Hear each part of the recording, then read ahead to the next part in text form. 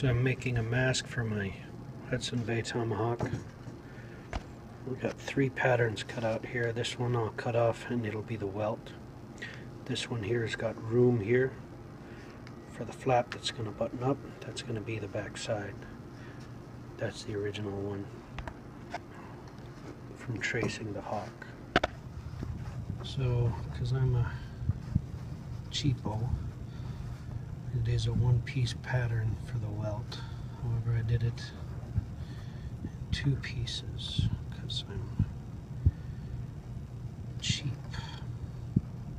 Earlier I said Hudson Bay axe. It's a H&B Forge camp axe.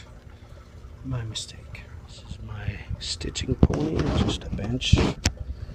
It's got a bolt here that pulls up and out and adjusts. There's different holes in there.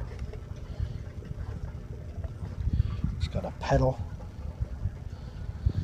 This clamping thing, it uh, catches the thread.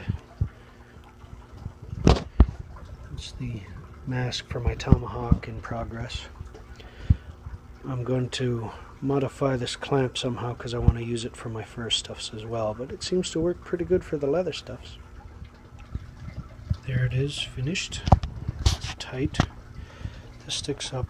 Probably going to trim that. Yes, there's a pen mark here.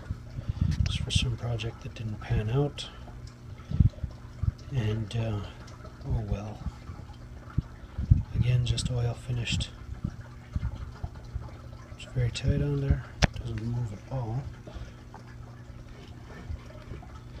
Pretty excited. Hopefully I'll be out beaver trapping with this tomorrow.